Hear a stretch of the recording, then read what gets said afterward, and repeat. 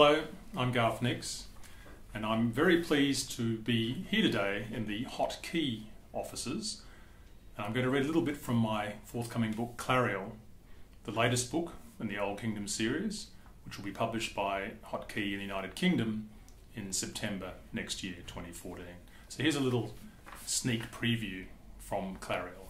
This is from the prologue, from the very beginning of the book. Old Maril the fisherman lived in one of the oddest parts of Belisaere, the ancient capital of the Old Kingdom.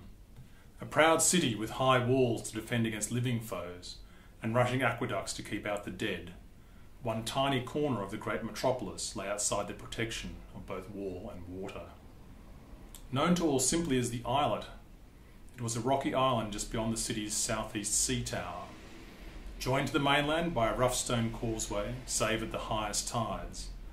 The island was inhabited by the poorest of the poor, the fisher folk who had lost their boats, or drank too much, or had suffered some calamity that kept them from the city's more prosperous fishing harbour further to the north.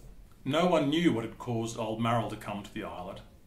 He had been there as long as anyone could remember, living in a shack made of driftwood and torn sailcloth, distinguished from the dozen or so other hovels on the islet only by its doorway in which a heavy curtain made of hundreds of shark teeth knotted onto a discarded fishing net served as a door. Old Maril made his living, such as it was, as a beachcomber.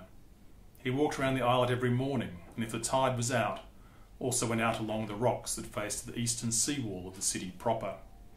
This could be very dangerous, for the tides in the Sea of Saere came in fast and high. In the old days, when the city walls were kept in constant repair, Maril would have drowned many times.